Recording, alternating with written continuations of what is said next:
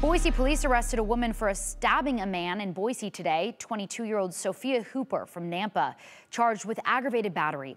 Just after 10 o'clock this morning, Boise police responded to a stabbing in a home on the 900 block of North 27th Street.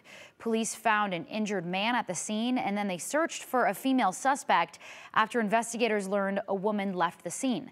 Nearby schools were put on shelter in place orders during that manhunt. Those orders have since been lifted. Police found Hooper near Whitewater Park Boulevard and they took her into custody. The victim received non life threatening injuries.